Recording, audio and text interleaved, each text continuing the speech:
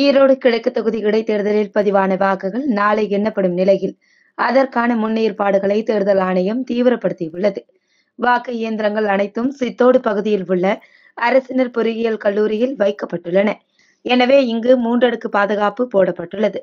காவல்துறையினர் மற்றும் துணை இராணுவத்தினர் நானூற்று ஐம்பது பேர் சுழற்சி முறையில் பாதுகாப்பு பணியில் ஈடுபட்டு வருகின்றனர். நாளை காலை எட்டு மணிக்கு வாக்கு எண்ணிக்கை தொடங்குகின்றது. முதலில் தபால் வாக்குகள் எண்ணப்பட உள்ளன பதினாறு மேஜைகளில் வாக்கு எண்ணிக்கை நடைபெறும் விதமாக ஏற்பாடுகள் செய்யப்பட்டுள்ளன.